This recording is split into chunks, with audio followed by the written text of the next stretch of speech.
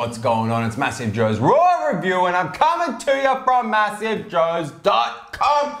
Awesome Raw Review for the viewers at home today. Particularly awesome because I got my man Neve up in the Raw Review. You know it's going to be an awesome Raw Review. Neve, welcome to the Raw Review, my man. It's good to be in a non-test booster one. A, a non-growth hormone supplement raw review for once. Yes. And I would go so far as to say that this this is the first of three raw reviews. The most On- anticipated of 2013. The most anticipated product line, the most anticipated series of raw reviews we've seen thus far. Would you agree? We have had an unprecedented Demand for these raw reviews. and products every single day. Phone Shall calls. you drop it on them? Shall you tell them what it is? Well- this raw review on the all new. If you haven't already read the title, if you haven't clicked on the video title, you already know. MTS Clash MTS Clash, man, coming from my man Marc Lobliner, one Machine Training Solutions. MTS Nutrition, one of the most respected dudes in the supplement industry worldwide, man. His new supplement line, MTS, includes this here Clash pre-workout. It includes an intra-workout that we're gonna raw review in another video, and of course, MTS Whey being raw reviewed in another video. Neve, let's get straight into it. MTS Clash Raw Review. But before we get straight into it, man, I'm just gonna ask you, if you were to design a pre-workout, my man, from scratch, blank canvas, design a pre-workout, what would you be throwing in that bitch? Why and in what amounts? Well, pre-workout want energy, so I chuck some caffeine in there. You're gonna chuck some stims, man, for sure. But how much? Under 300 milligrams. For- me, that's perfect, man. Because if I have more than 300 milligrams You're of dead. caffeine, no, I'm not dead. I just want to go take a nap. And I'd probably throw in because caffeine's good, man. But I'd probably throw in like some PEA and some synephrine as well, just for that. A little bit, of, a little bit of boom. What else are you putting in that pre-workout, man? Uh, creatine. Creatine. I, you like creatine hydrochloride. I like creatine mono. I take creatine mono. Most people prefer. So creatine, I'd man. say at least five grams of creatine. You've got to throw a clinical dose in there for muscle power. What else, man? uh, a pump. Skin splitting pump. Skin splitting. My favourite nitric oxide booster is agmatine. I think it goes without saying, agmatine at the moment is the hottest nitric If oxide anyone knows booster about- on the planet. If anyone knows about agmatine, it's a fine line between too much and not enough. That's it. How much would you put in your pre-workout? One and a half. I go one anywhere between one to two grams, man. And then finally, But don't go too much. Don't go adding agmatine into it. but yeah, what, what else would you? What about like muscle fatigue, that sort of thing? Beta-alanine. Probably some beta-alanine and clinical dose as well, man. So you got to be doing at least three grams. None of this fairy dust shit. And then yeah, no pixie dusting in these bitches. And if you're like me, man, you gotta love yourself some tyrosine, man. Help you focus. Help you get your Einstein on in the gym, man. I love that kind of stuff. If you've seen raw reviews, you know I love tyrosine.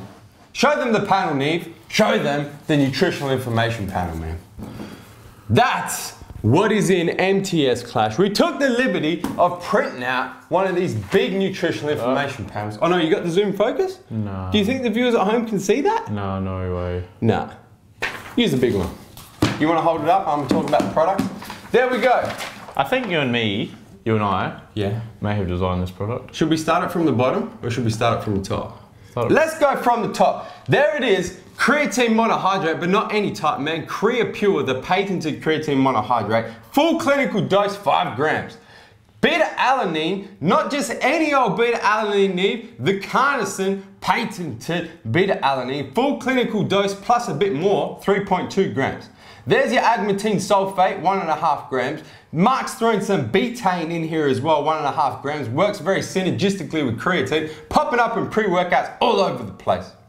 There's my N-acetyltyrosine, half a gram. And then you've got what he's calling his Boom Blend, which when combined with the 250 milligrams of caffeine in this bitch, gonna get you all stimulated, but ain't gonna get you overstimulated to the point where you wanna go into the squat rack and take yourself a nap, man. That's what's in it. In terms of how it tastes, how it mixes, comes in one flavor. Comes in, my personal favourite. You can't, it's one flavor. You can't have a personal favorite on one flavor. lemonade. Bro, but if I could choose any flavour in the whole world, You're a big fan of lemonade. I am. Me, on the other hand, I am not a big fan of why can't somebody bring out a Coca-Cola flavoured pre-workout? No, a Coca-Cola Zero flavored pre-workout Yeah. for your fine self. Terms of how it mixes Neve. Show them the live demonstration. Got ourselves a glass with see- see-through walls.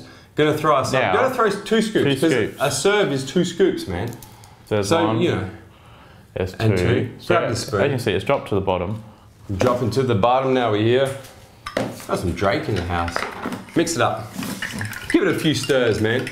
Show the viewers at home. Show them the top. Show them the bottom. Show them how it mixes or how it doesn't mix. How's that looking to you, man? That's looking pretty well mixed. You got some sinkers down the bottom. Of course. You got any floaties at the top? No. Show them! Keep it to yourself. I would go so far as to say, Neve, I'll, we'll see the bottom. Let's have a look. Have a sip. Here we go. Drinking a whole pre-workout again.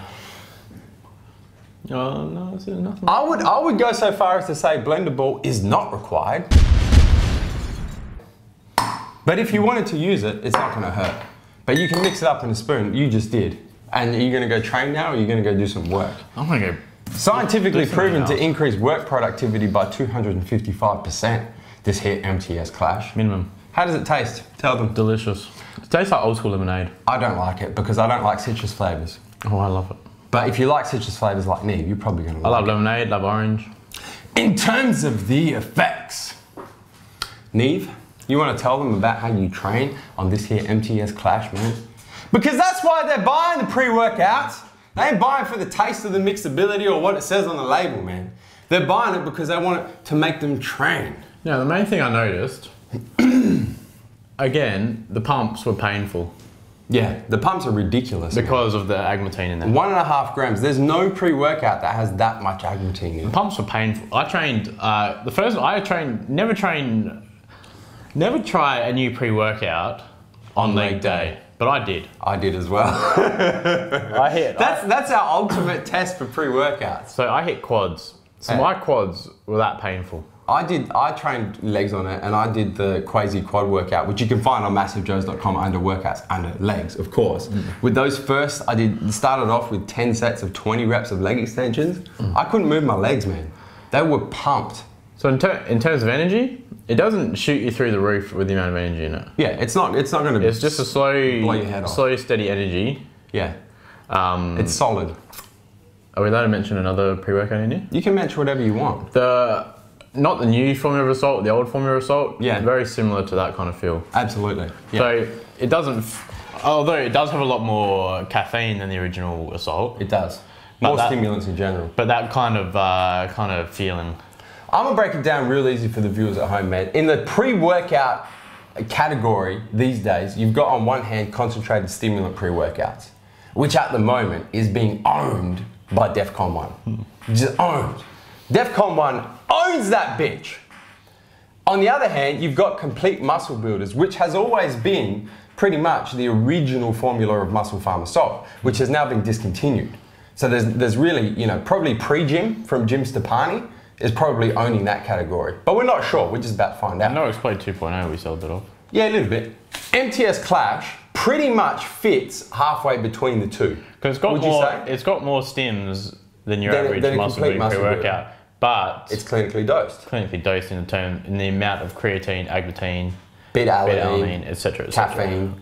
It's not concentrated stimulant. So it kind of fits halfway between the two. Which for me personally, don't get me wrong, man. I love training on my concentrated stim every now and again. But I, uh, viewers at home would know this, I always go back to a lower stim pre-workout that's clinically dosed because I think, no, in fact, I'm certain over the long term, your clinically dosed pre-workout is gonna get you all kinds of gains, man.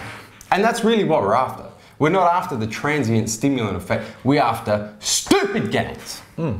So I like this MTS Clash, man. I think the one thing to note is you're gonna train really well on it. You're gonna actually get more reps, more sets, but it's not gonna do the whole mind-blowing pre-workout effect. So for Jez, it wasn't strong enough. That's probably the, the, the, the best way to describe it. The other cool thing is the clinical dose. There's 40 scoops in this bitch, man.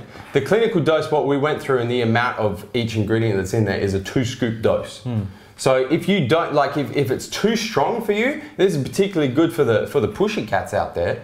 Is they can take one scoop They're pretty young things. or one. You can go anywhere from one right up to two scoops. See, one scoop, So you can dose it as you want one scoop would be perfect for the little push cats. for the push cats. Yeah. Whereas two scoops for the big swolgers like yourself, absolute must. I'd go four. You know anything else you want to add on this here MTS Clash, man? It's delicious. I, I would go so far as to say my, my pre-workouts at the moment for the days when I want concentrated stim is DEFCON 1. From the days where I want to step down and I actually want to improve performance without making it feel like I'm going to a rave party, this here MTS Clash. Hmm. That's it. Guys, hit the subscribe button. Subscribe to our YouTube channel, man. Stay up to date with all the latest editions of Massive Joe's Raw Review, and particularly because you know we got the Raw reviews on two other MTS products coming soon, man. MTS and, Whey and MTS Fuel. and if machine fuel, and if you don't hit the subscribe button, you may miss them bitches. You got anything else you want to add, Neve? Subscribe. Guys, that is Massive Joe's Raw review on the old new MTS Clash. And I'm coming to you from MassiveJoes.com.